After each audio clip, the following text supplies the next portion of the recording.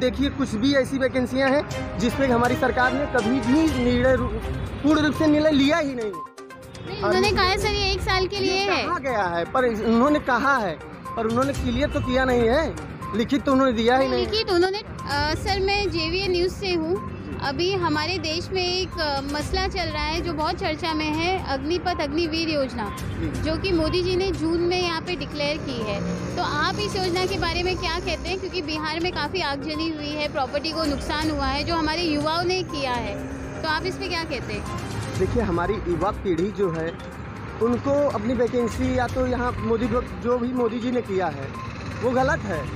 पूर्ण रूप से गलत है क्योंकि 21 से हटाकर 23 किया जा रहा है। ये वैकेंसी कितने लोगों के लिए नुकसानदायक है? तो युवा पीढ़ी जो भी कर रही है, ये गलत थोड़ी नहीं है। नुकसान तो ज़रूर हुआ, क्योंकि ये हमारे आम पब्लिक की संपत्ति है। पर युवा को इस हिसाब से नहीं करना चाहिए कि तोड़ फोड़ करें। ये धरना बढ़िया से अच्छे से बैठ के कर सकते हैं। सर आपने शायद उनका एक ट्वीट नहीं देखा होगा। उसमें उन्होंने 23 जो क्राइटेरिया है सिर्फ़ एक साल के लिए ही उन्होंने दिया है बाकी वो 21 ही रहेगा। नहीं नहीं ट्वेंटी थ्री क्यों किया गया? क्योंकि दो साल सर कोरोना में भर्ती बंद थी जिसमें बाकियों की उम्र और हो गई तो वो ये साल भर्ती नहीं ले सकते जिनका मन था।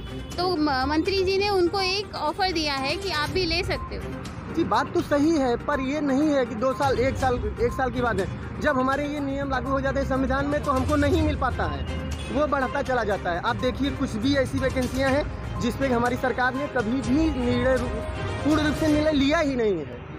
कुछ भी नहीं लिया है। बस बढ़ाते चले जा रहे हैं। ऐसे थोड़ी नहीं होगा। बच्चे बेरोजगार मर रहे हैं। आज तक कुछ हुआ नहीं है। क्या हुआ? आप बताइए अपने हिसाब से। सरकारी वैकेंसियाँ एक भी भरी नहीं जा रही हैं। सिर्फ़ वैकेंसियाँ निकाल के दिखाई जाती हैं। वैकेंसियाँ पूरी होती ही नहीं है। कभी ये मसला बच जाता है, कभी सुप्रीम कोर्ट में चला जाता है, कभी हाई कोर्ट में चला जाता है। और इसी से वैकेंसियाँ रुक जा रही हैं। आपके हिसाब से जो युवाओं ने बिहार वगैरह में किया वो सही था? हाँ सही है।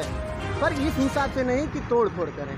बैठ के भी हम जनता को जनता के साथ बैठ कर युवाएँ ये विरोध कर सकते हैं पर इस हिसाब से करना उचित नहीं है।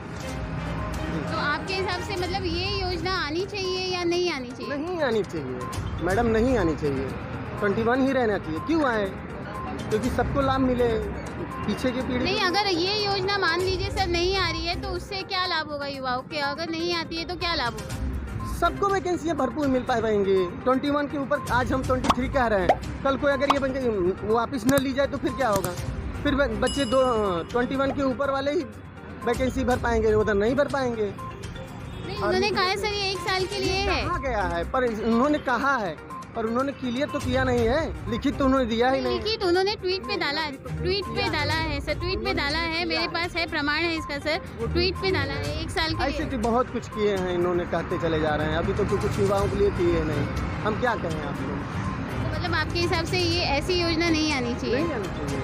नहीं आनी चाहिए। मेरे हिसाब से नहीं आनी चाहिए। बच्चों के लिए नहीं आनी चाहिए।